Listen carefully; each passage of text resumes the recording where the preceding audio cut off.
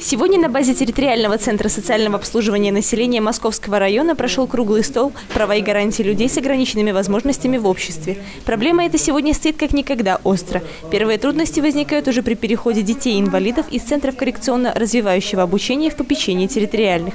Важную роль в этом процессе играет адаптация человека с ограниченными возможностями к жизни в новом коллективе. Мы оказываем, во-первых, это адаптация э, к самостоятельной жизни. У нас они занимаются в различных кружках. Это вот «Радуга жизни», э, которая э, театральное направление деятельности, трудовая деятельность, это различные изготовление различных изделий. Они вот здесь вот представлены, посмотрите. Ну и самое такое вот Основная работа – это адаптация к дальнейшей жизни. Первые признаки инвалидности медики констатируют еще в раннем возрасте. И практически сразу малыши попадают под патронаж квалифицированных врачей и педагогов.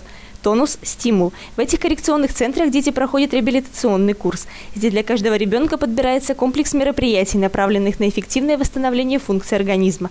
Несмотря на то, что в центрах имеется огромное количество новейших медицинских приборов и технологий, о быстром возвращении к нормальной жизни говорить сложно. Курсы интенсивной терапии повторяются на протяжении многих лет. Реабилитация – это длительный, многолетний процесс, который ну, никак нельзя мерить вот курс он прошел реабилитации и поправился, или там ему стало намного лучше, или он стал здоровым абсолютно.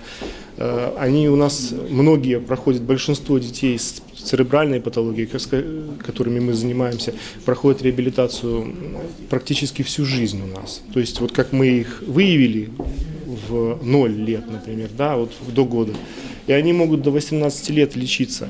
Получение образования – еще одна трудность, с которой чаще всего сталкиваются молодые инвалиды. Доступность науки для людей с ограниченными возможностями пока, к сожалению, находится не на самом лучшем уровне. Пандусы и удобные лестницы остаются элементом роскоши. Много еще предстоит сделать и дополнить, но важно помнить, что не это является определяющим фактором. Иногда нужно и здоровым людям пересмотреть свое отношение к тем, кто немного отличается от нас. Каждое учебное заведение должно иметь э, безбарьерную среду, чтобы чтобы инвалид мог выбрать для обучения любое высшее учебное заведение. На сегодняшний день в нашей стране только 7 высших учебных заведений предлагают э, безбарьерную среду. Не должны мы забывать еще и об отношении общества к инвалиду. Вот это, наверное, для меня э, это самая большая э, как бы беда, проблема, потому что общество все-таки по разным исследованиям, проводимым в нашей стране, общество э, не всегда готово принять инвалида к себе. Анастасия Назрин-Плотницкая, Эдуард Бакунович, Антон Луговкин, телекомпания Бук ТВ.